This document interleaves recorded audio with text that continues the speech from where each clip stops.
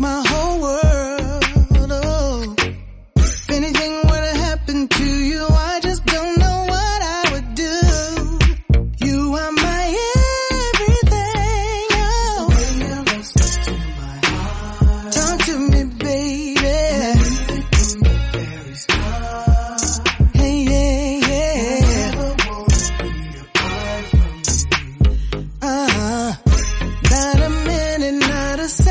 amor.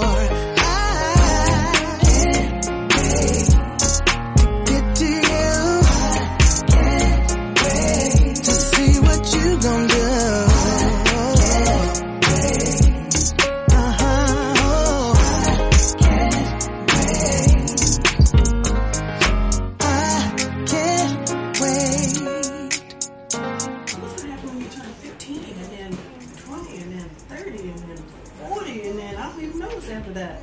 A lot of people say I might be a beast on the drums by 15. Oh, you're a beast on the drums now. And I see you shedding, getting your shedding time and practicing. That's the important stuff. Get it, get it done now. Then all the, everything you ever learned will be right in your back pocket. You'll be able to just pull it out like this. Just pull it out like that. That's excellent. I'm so proud of you.